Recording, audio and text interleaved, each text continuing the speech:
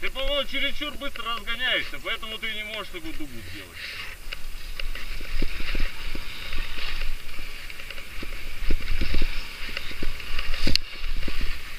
Вот сейчас ништяк.